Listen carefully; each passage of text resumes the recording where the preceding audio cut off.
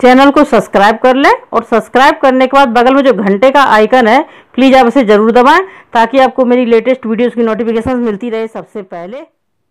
नमस्कार दोस्तों, मैं हूँ नम्रता भदौरिया इंडियन यूट्यूबर और आप सभी लोगों का मेरे यूट्यूब चैनल पर स्वागत है। तो दोस्तों, आज की इस वीडियो में मैं आपको बताऊँगी एक ऐसा सरल सा आसान नुस्खा, जिससे आपके घर से सारे मच्छर गायब हो जाएँगे और छिपकली भी गायब हो जाएँगी। यानी कि एक नुस्खा और छिपकली और मच्छरों की छुट्टी। तो ये देखिए दोस्तों, आप मच्छरों को भगाने के लिए कॉयल जलाते होंगे या फिर आप इस तरीके से लिक्विड जलाते होंगे। लेकिन आपको नहीं पता है ये कितना जहरीला होता है और इससे आपके मच्छर तो भागते हैं। लेकिन आपके श्वास नली द्वारा आपके शरीर में ये जहर धीरे धीरे प्रवेश करता है और ये पॉइजन का काम करता है। इससे आपके घर में बीमारियाँ भी हो सकती हैं। तो चलिए इसको हम हटाते हैं। मैं बताती हूँ, एक आपको आसान सा घरेलू नुस्खा, जिससे आपके घर में मच्छर और छिपकली दोनों नहीं रहेंगे, दोनों भाग जाएँगे।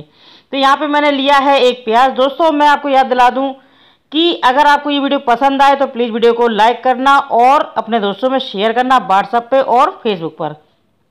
तो इस तरीके से प्याज लेकर के एक छोटा सा प्याज लेंगे और इसका छिलका निकाल देंगे। ये देखिए।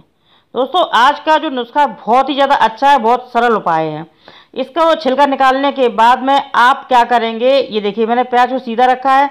अब हम प्याज को अपोजिट साइड में, ये देखिए, इस तरफ़ से प्याज की दूसरी तरफ़ को हम इस तरीके से चाकू से गोद देंगे। ये देखिए थोड़ा सा इसमें हम निशान बना देंगे इस टाइप से।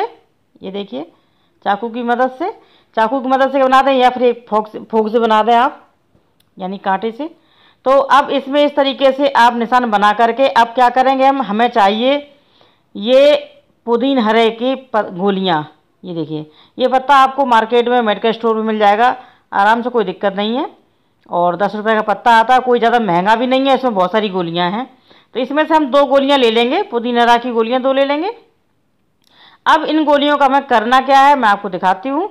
आप वीडियो पूरा देखिएगा, आप बिल्कुल स्किप ना करें दोस्तों वीडियो को। और ये बहुत ही ज़्यादा आसान नुस्खा और इससे आपके घर में कोई प्रॉब्लम नहीं होगी। बच्चे, यानी कि बच्चे, बूढ़े घर में सभी लोग स्वस्थ रहेंगे। बूढ़े लोगों को तो ये ये कॉयल लगा दो तो उनको बहुत ज़्यादा प्रॉब्लम हो जाती है। यानी कि बीपी बढ़ने लगता है या जी घबराने लगता है, इस तरीके से प्रॉब्लम हो जाती है बड़े बड़े बुज़ुर्गों को। तो इस तरीके से आप पुदीना रे की टैबलेट को ले लीजिए और इसमें छेद करके इसका जो ऑयल है, इस प्याज में जो हमने यहाँ पे जो निशान बनाए थे, उसमें आप ये ऑयल डाल दीजिए। ये देखिए। अब आप समझ सकते हैं कि पुदीना का जो खुशबू होता है स्मेल होता है, वो कितना तेज़ होता है और प्याज का स्मेल कितना तेज़ होता है। ये देखिए।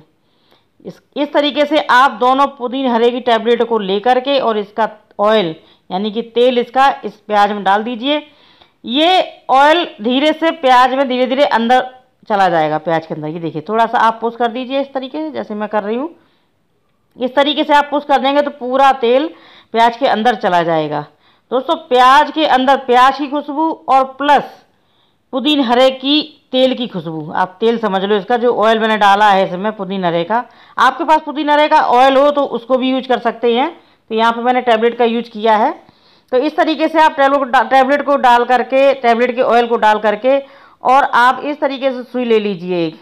सुई ले करके सुई में धागा लगा लें और इस तरीके से नीचे की तरफ़ से ये जो तेल वाला पार्ट है, इसको ऊपर ही रखना है, नीचे से इस तरीके से ले करके और इस सुई को, सुई की जो धागा है, इसके नीचे आप लगा दें गांठ, इस तरीके से। ये देखिए। इस तरीके से आप गांठ लगा दें तो प्याज में, प्याज गिरेगा नहीं आपका। अब आपको करना क्या है, इस तरीके से आप धागा लगा करके प्याज में और आप इसे कहीं भी, जिस कमरे में आप सोते हैं उस कमरे में इसको लटका दीजिए, इस तरीके से। धागे से बाँध दीजिए आप। आप देखेंगे धीरे धीरे कमरे में इतनी ये खुशबू पैदा कर देगा कि मच्छर और छिपकली आपके कमरे में टिक नहीं सकते हैं।